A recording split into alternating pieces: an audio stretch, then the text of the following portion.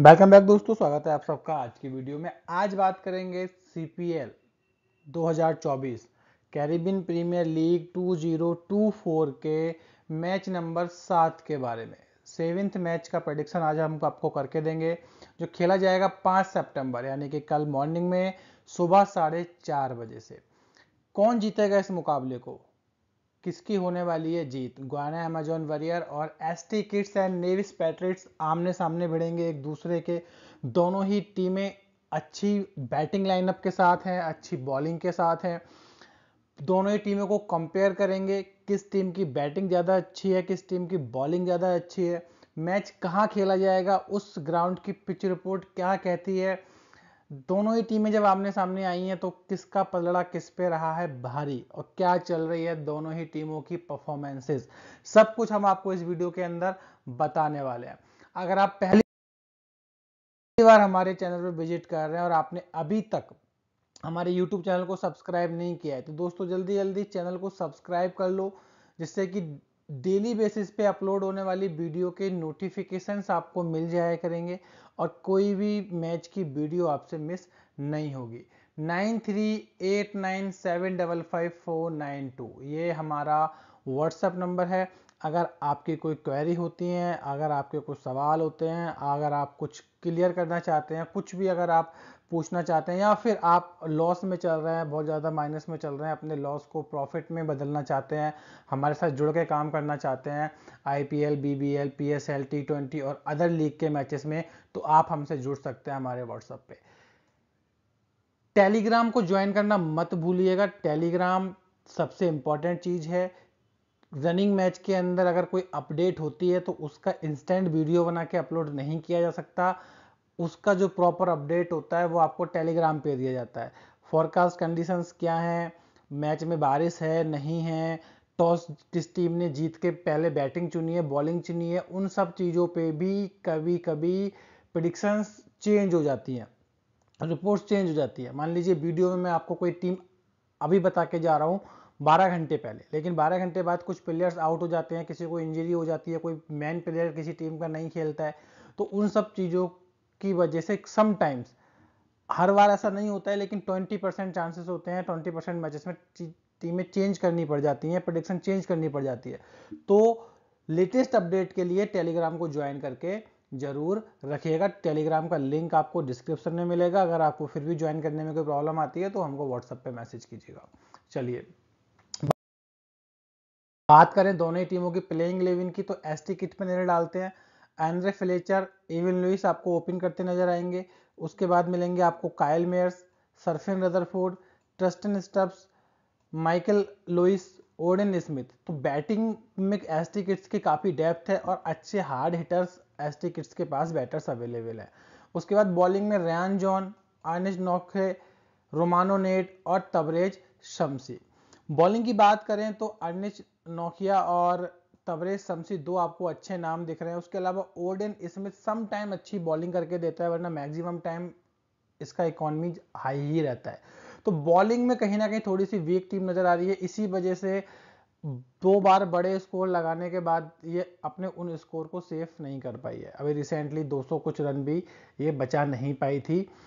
Saint Lucia के सामने। तो बॉलिंग में थोड़ी सी वीक नज़र आ रही है एस्टिकिट्स बैटिंग काफ़ी अच्छी है एस्टिकिट्स की। गोयना की बात करें रहमला गुरबाज के साथ गुद के मोती आपको ओपन करते देखेंगे, क्योंकि इनके पास ओपनर की थोड़ी सी कमी है।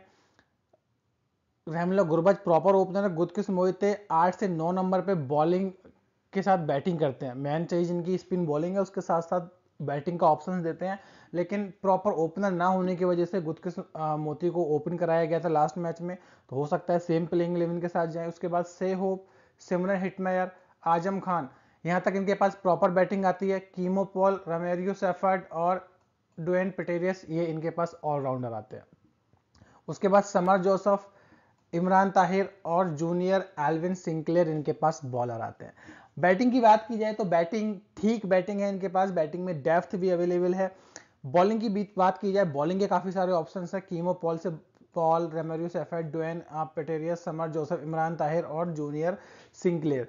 तो बैलेंस टीम नज़र आती है और गुदकिस मोती भी बॉलिंग ऑप्शन है। तो बैलेंस टीम नज़र आती है गोयना की। बट इंपॉर्टेंट चीज़ ये है कि ऑलराउंडर पे डिपेंड टीम ज़्यादा कर रही है compare to batters.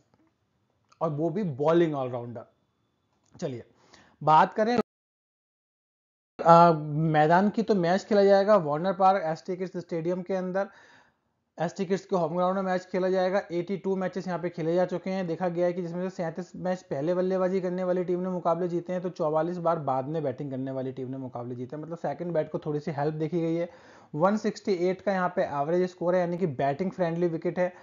255 highest score लगाया और 80 रन का लोएस्ट स्कोर लगाया। लास्ट 10 मैचेस में देखा गया है कि 63 विकेट्स पेसर्स ने लिए हैं और 50 विकेट्स जो हैं स्पिनर्स ने लिए हैं। तो यहाँ पे फेसर्स और स्पिनर्स दोनों का बोल वाला रहता है।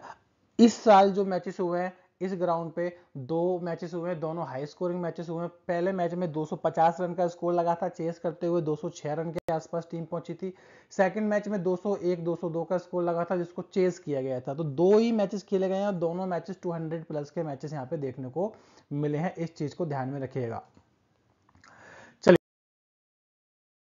टॉप बैटर्स की बात कर लेते हैं। तो कल के दिन आपको इविन लुइस के बल्ले से फिर से रन आते दिख सकते हैं। कायल मेयर अच्छी फॉर्म में चल रहे हैं। इनका बल्ला फिर से बोल सकता है और सरफेन रदरफोर्ड का बल्ला कल बोलता नज़र आ सकता है। बात करें बॉलिंग की एस टी किट्स की रियान जॉन अनिच नोकिया और तवरे शमसी आपको अच्छी बॉलिंग करते नज़र आएँगे। इनके तरफ़ से आपको अच्छी बॉलिंग का प्रदर्शन देखने को मिलेगा। रेमला गुरवज गोयना की तरफ़ से आपको अच्छी बैटिंग करते दिखेंगे। से होप का बल्ला कल बोलेगा और सिमरन हिटमेयर की तरफ़ से एक आप पैंतीस से चालीस रन की पारी देख सकते हैं। बॉलिंग की बात करें, समर जोसेफ, इमरान ताहिर और जूनियर सिंकलेर आपको अच्छी बॉलिंग करते नज़र आने वाले हैं।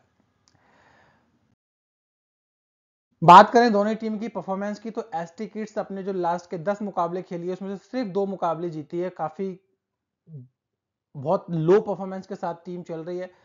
एक सौ पैंसठ इनका एवरेज स्कोर देखने को मिला यानी कि बैटिंग उन्होंने ठीक ठाक की है। 220 हाईएस्ट स्कोर है और दो सॉरी अठासी रन का लोएस्ट स्कोर है।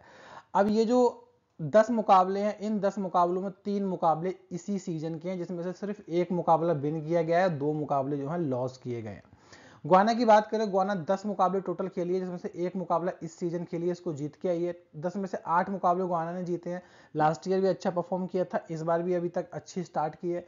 169 का एवरेज स्कोर है 226 का हाईएस्ट स्कोर है और 99 रन का लोएस्ट स्कोर देखने को मिला है ग्वाना की तरफ़ से। हेड टू हेड नज़र डाल लेते हैं। 18 बार दोनों टीमें आमने सामने आई हैं, जिसमें से 12 बार एस टी किट्स ने मुकाबले जीते यानी कि एस टी किट्स बहुत अच्छे से डोमिनेट करती है गोयना को। गोयना सिर्फ़ छह मुकाबले जीत पाई है 18 में से। एक सौ तिरपन रन का एवरेज स्कोर रहता है। ग्वाने के सामने एस टी किट्स का तो वहीं ग्वाना का एवरेज स्कोर एक सौ चौवालीस रन का रहता है। यानी कि बैटिंग में भी कहीं ना कहीं फ़र्क देखने को मिलता है एस टी किट्स का जो एवरेज स्कोर है, जो बैटिंग परफॉर्मेंस है, वो थोड़ी अच्छी है ग्वाना से।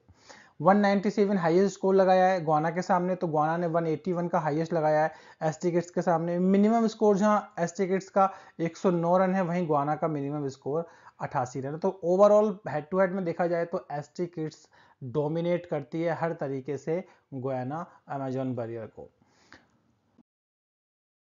बात कर लेते हैं प्रोडिक्शन की तो देखिए मैच प्रोडिक्शन टॉस प्रोडिक्शन कहती है कि कल के मैच का जो टॉस है वो गुआना अमेजोन वरियर के साथ जाएगा और मैच प्रोडिक्शन कहती है कि मैच विनर जो कल का होने वाला है वो S T Kitts and Nevis Patriots होने वाला है। फाइनल प्रोडिक्शन देंगे हम आपको हमारे व्हाट्सएप पे और हमारे टेलीग्राम पे तो टेलीग्राम को ज्वाइन कर लीजिएगा। लिंक आपको डिस्क्रिप्शन में मिलेगा। Nine three eight nine seven double five four nine two ये हमारा व्हाट्सएप नंबर है। कोई भी क्वेरी अगर आपकी होती है, आप हमारे साथ जुड़ के काम करना चाहते हैं तो व्हाट्सएप पे जुड़ सकते हैं। आज की वीडियो में इतना ही। कल मिलेंगे नए मैच की वीडियो के साथ। चैनल को ज्वाइन करके रखिएगा। वीडियो पसंद आई हो तो वीडियो को लाइक कीजिएगा शेयर कीजिएगा और यूट्यूब चैनल को सब्सक्राइब कर लीजिएगा। Thank you for watching take care